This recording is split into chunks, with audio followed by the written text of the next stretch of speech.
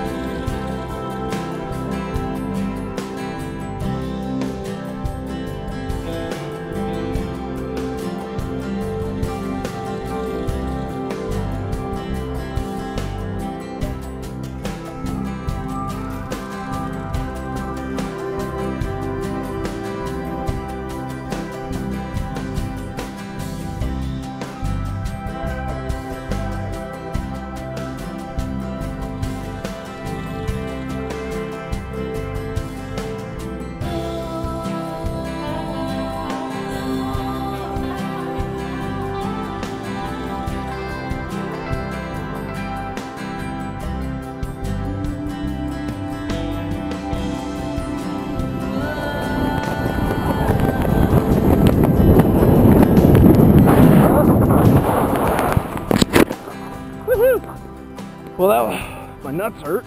that was awesome, man. Nice job, buddy. You have fun? Yeah, that was that was a blast. Excellent. Thanks for jumping here at Phoenix Area Skydiving. Big thumbs up. Woohoo!